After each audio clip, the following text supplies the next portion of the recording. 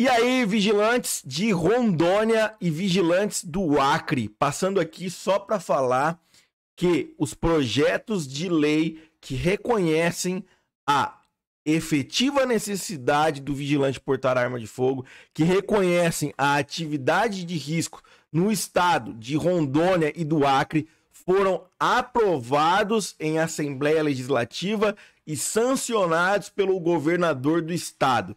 Então, para quem não sabia para o que o movimento Vigilantes com Orgulho veio, veio para isso e para muito mais. Quero fazer agradecimentos aqui ao deputado Roberto Duarte, aos deputados lá de Rondônia, tá? Depois eu vou pegar o nome dele vou citar aqui também no canal, que eu não falei muito ainda sobre o deputado lá de Rondônia, que conduziu é, o projeto de lei lá tá? A todos que acreditaram, ao Felipe Vargas, do Movimento Tiro Rápido, a todos os líderes nacionais do Movimento Vigilantes com Orgulho, a todos os coordenadores regionais, especialmente o Jonathan Brito, que foi o primeiro que apresentou lá para o deputado Roberto Duarte e foi aprovado. Então, um grande abraço. Essas são as primeiras e simbólicas vitórias do Movimento Vigilantes com Orgulho. A gente vai avançar muito mais. Grande abraço para todos vocês. Um excelente um excelente final de noite, né? Agora são 10 e 22 e 20 a hora que eu tô gravando esse vídeo.